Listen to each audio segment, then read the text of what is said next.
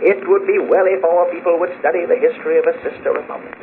All the woes of France for a century and a quarter have been due to the folly of her people in splitting into the two camps of unreasonable conservatism and unreasonable radicalism.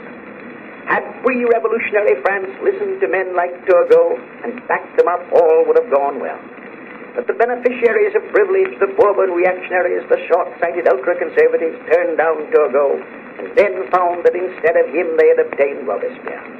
They gained 20 years' freedom from all restraint and reform at the cost of the whirlwind of the Red Terror, and in their turn the unbridled extremists of the terror induced a blind reaction. And so, with convulsion and oscillation from one extreme to another, with alternations of violent radicalism and violent Bourbonism, the French people went through misery toward a shattered goal.